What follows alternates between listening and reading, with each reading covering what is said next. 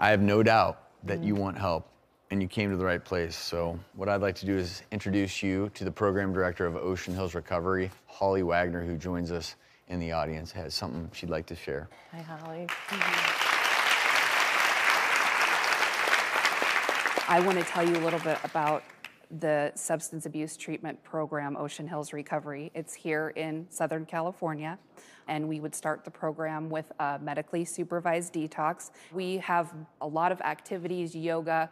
Uh, we give you the opportunity to exercise. Uh, we have group therapy sessions every day with everything from uh, coping skills, family dynamics, past trauma, uh, cognitive behavioral therapies. And I think that me and my team could really help you. Jane, what do you think about all of this?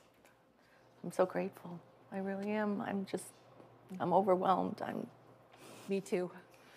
so all all that you have to say is yes because we have a car waiting and she is ready and willing to escort you to the start of your new life.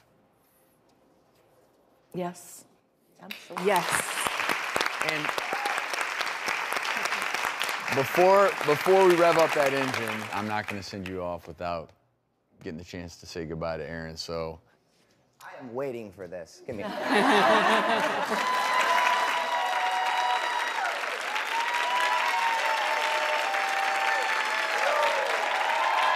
I'm sorry for corroborating, but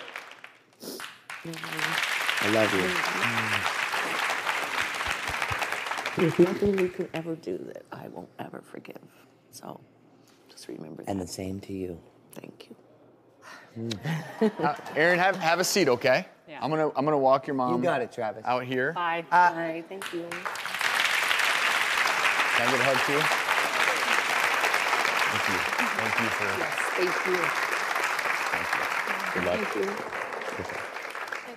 You ready? Yeah. Right? Thank you, Holly. I'll see you later. Just call me when you need me. I'll be there anytime.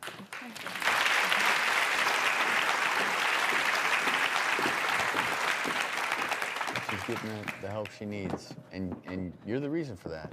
So that there there's whatever it takes, right? I'm gonna let you Whatever. go in front of me.